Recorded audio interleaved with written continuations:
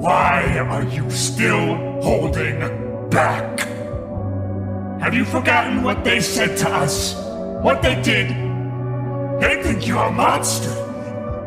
Prove them right. Fight or be forgotten!